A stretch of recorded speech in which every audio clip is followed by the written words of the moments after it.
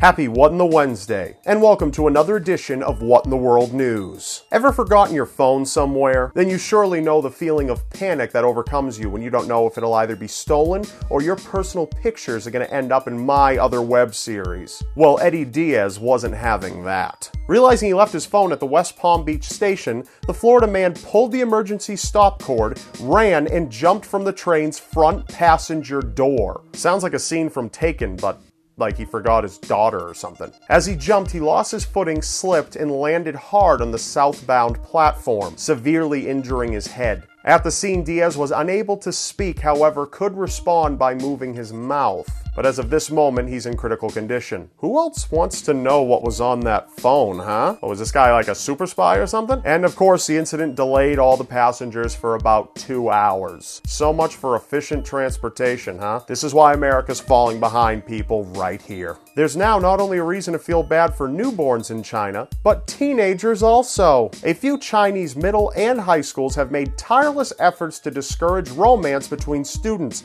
threatening those who break the rules with severe punishment. Apparently, you don't only have to be born female in China to be a disgrace anymore. Some rules dictate that two students of the opposite sex may not come any closer than a foot and a half's distance from each other. Other rules stipulate that they may not walk in pairs and must avoid close interaction. Of course, that last part has absolutely no definition, so it could mean anything. At a population of 1.35 billion people, most people are just able to poke fun or laugh off the ban ultimately believing that it will be ineffective. Yeah, this is China we're talking about, people. If you don't listen up, they're gonna start stitching up and chopping off, if you catch my drift. London's finest sprung into action recently to rescue a man from the clutches of his evil kitchen appliance. The fire brigade was called to the home of an elderly man who had managed to get his penis stuck in his toaster. Nothing strange about that whatsoever. Is that not how you're supposed to use toasters?